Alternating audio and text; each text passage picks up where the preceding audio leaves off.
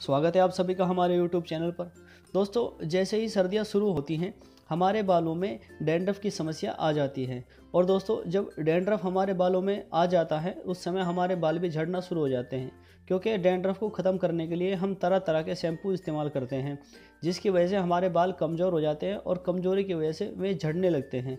दोस्तों, इसके लिए हम एक घरेलू उपाय बताने जा रहे हैं, जिसके ज़रिए आप अपने बालों का डैंड्रफ तो ख़त्म करेंगे ही, साथ में आप अपने बालों को पोषण भी देकर अपने बालों को घना, लंबा और मज़बूत बना सकते हैं। दोस्तों, इसके लिए सबसे पहले आपको सरसों का तेल लेना है।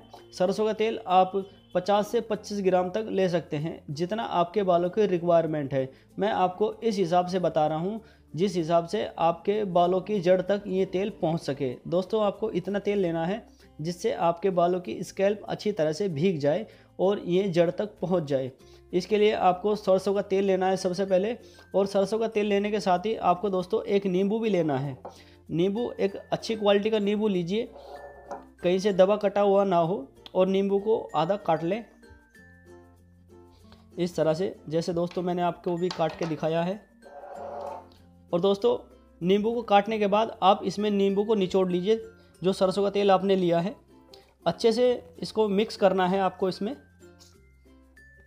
दोस्तों, जैसे हमने लिया है यहाँ पर 50 एम सरसों का तेल लिया है दोस्तों, इसी हिसाब से हमने इसमें आधा नींबू निचोड़ लिया है।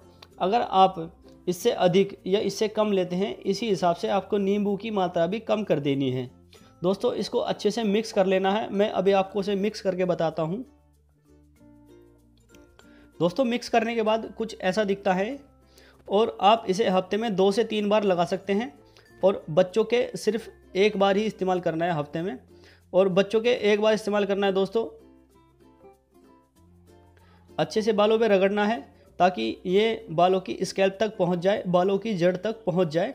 इससे क्या होगा दोस्तों, आपके बालों को पोषण मिलेगा और उन्हें मजबूती मिलेगी और जो भी डेंड्रफ होगा, वो डेंड्रफ ख़त्म हो जाएगा। दोस्तों, अगर आपको इसी तरह की वीडियो देखना पसंद है तो हमारे चैनल को ज़रूर सब्सक्राइब करें, क्योंकि हम अपने चैनल पर इस तरह की वीडियो लेकर आते रहते हैं। और अगर आपको ये वीडियो अच्छी लगी है तो एक लाइक ज़रूर करें। आज की वीडियो में इतना ही। धन्यवाद।